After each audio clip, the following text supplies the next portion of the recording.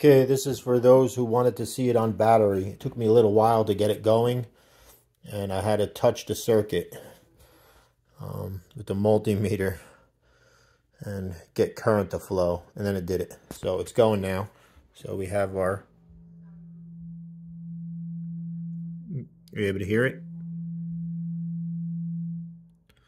Alternating. Look at that. Perfect AC. It's beautiful.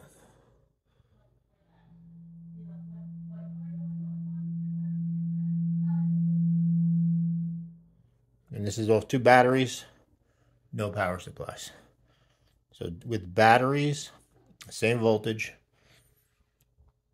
I don't understand why it only does it with these bulbs so far. I can't get it to go with other loads yet. But look at that alternating current. It's beautiful, beautiful and even way back here.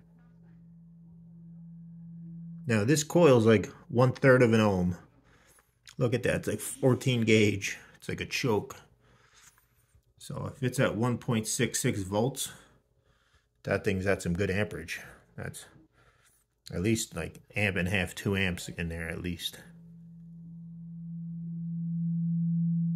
There we go, off batteries.